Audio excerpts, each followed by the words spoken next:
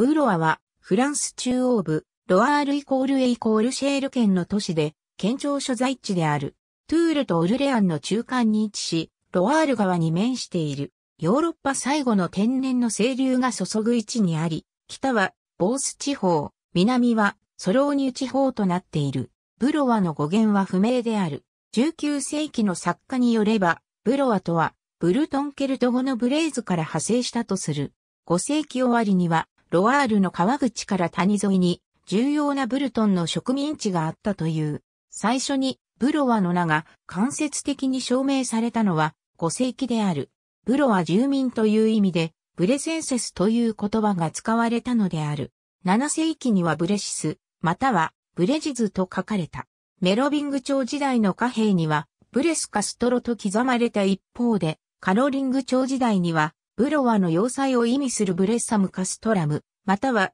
カストラムブレセンスと表された。ラテン語のブレッサムが正常に発展し、フランス語でブライスとなり、その後、ブロワとなったのである。1959年に始まった都市計画の大工事によって発掘が可能となり、ガロローマ時代の都市中心部やガリアが独立していた頃の居住地が発見された。ブロワが初めて歴史上にその名を表したのは410年、ブルトンの族長、ユグマデスがコンスルのオドを追放し、ブロワを征服した時である。クロビスが494年に征服するまでは、ブロワは独立、または反独立の国家であったとみられる。851年、ブロワはバイキングの族長、ハステーンに襲われ略奪された。別の資料によれば、ブロワは854年と856年から857年の間の二度バイキング襲来を受けた。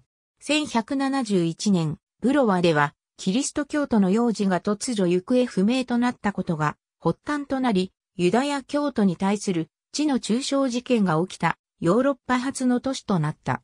市内におよそ130人がいたというユダヤ人のうち30人から35人が捕らえられ、1171年5月26日、生きたまま火炙りにされた。中世のブロワには、シャンパーニュ白衣を持つブロワ伯の家系ブロワ家が本拠を置いていた。ブロワ伯義一世の次男、シャルル・ド・ブロワは、ジャンヌ・ド・パンティエーブルと結婚して、ブルターニュ行為請求者となったが、不運にもオーレの戦いで戦死してしまう。ユグノー戦争最中の1562年7月4日、元帥、ジャック・ド・サンタンドレ率いるカトリック軍がブロワを襲撃し、略奪、扶助を暴行したと伝えられている。1568年、ユグノーの首領、ブカールがブロワを略奪し、カトリック教徒を虐殺し、市街に火を放った。ある修道士たちは所属する修道院の井戸の中に投げ落とされた。教会は廃墟となった。